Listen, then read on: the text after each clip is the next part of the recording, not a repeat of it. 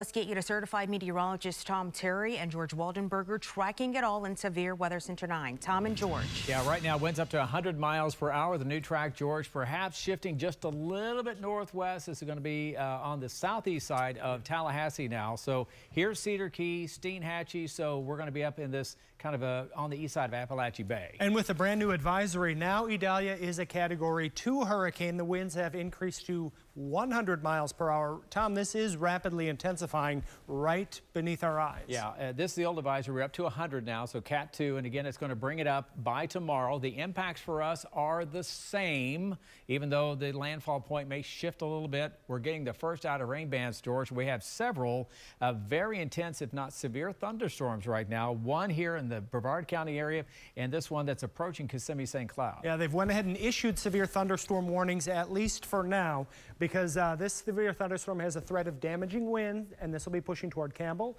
south sides of Kissimmee, also St. Cloud. And Tom, here's the other severe thunderstorm in Brevard County. Yeah, so this is the whole issue with this, uh, the outer rain bands, even though we are long away from the center of this uh, hurricane, we're getting some very strong winds through this. There is a tropical storm warning out for the entire area, but Wedgeville, that's a big storm, George, and we have not seen a lot of rotation with this yet, but we're going to keep a close eye on any spin-ups as we're prone to have when we have storms in the Gulf. There's a lot of lightning with these thunderstorms as well. As we get closer to the center, as the center gets closer to us, we'll likely see less lightning, but there are four, indeed, strong storms that are moving through central Florida right now. I wouldn't be surprised if we get more severe thunderstorm warnings out of these. Yeah, we're going to get more, and generally this is now, this is 5 p.m. You can see the thunderstorms coming through. Any one of these could produce winds over 50 to 60 miles per hour, and we're going to keep this moving north. Yeah, so this is 7 p.m. After that, our first initial test will give us a break, and then it's after 2 o'clock that we start to see the main impacts of the system,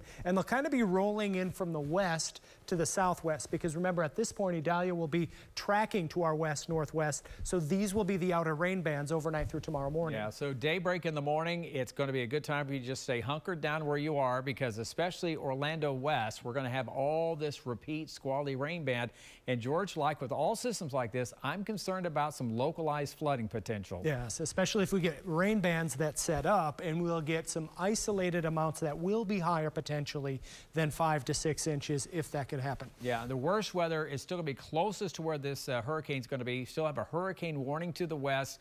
It's going to be a long night, and George and I are going to be here watching it all evening, overnight. We're going to not stop until this storm moves out, but it's going to be a long night tonight, a long day tomorrow, just to stay home and watch. Martha? All right.